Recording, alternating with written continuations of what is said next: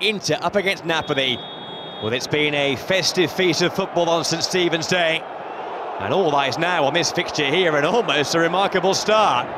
Straight from the kick-off there. Inter being very ambitious and forcing a save from Alex Meret